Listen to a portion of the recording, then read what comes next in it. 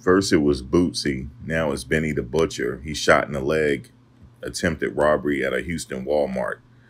I don't know what it is about shooting him in the leg, but um, it says Benny the Butcher is the latest rapper to suffer a gunshot wound below the belt. Um, this time it happened at a Houston. It happened at a Houston Walmart, an attempted robbery. Houston PD tells TMZ the New York rapper was in town Saturday visiting a local Walmart with a couple of his friends in tow. Guess that didn't matter. While they were in the car in the parking lot, we're told five guys um, inside pulled up next to him and whipped out guns demanding chains. Apparently, Benny and company moving too slow for the alleged robbers' liking. Um, the cops say one of the five fired a round into Benny's leg, which caused the crooks to flee.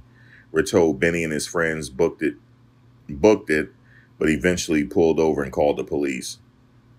Benny was taken to the hospital for treatment. Uh, his condition is unknown at this time. Cops say the men who attempted to rob him were also still at large, and the investigation is on the way.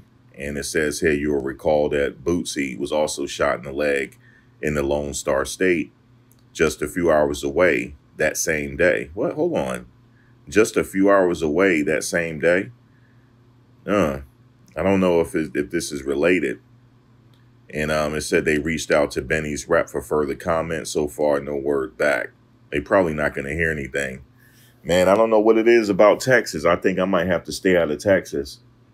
You know, because granted, you might think that's not life threatening, but um, you can get shot in the leg and hit a major artery and you're gone. Especially if they don't um, tie it, you know, tie the wound, you know, a tourniquet on the wound and um, you could bleed out. So good thing that Benny the Butcher is okay and Boosie is okay. But um, I don't know what it is about Texas, man.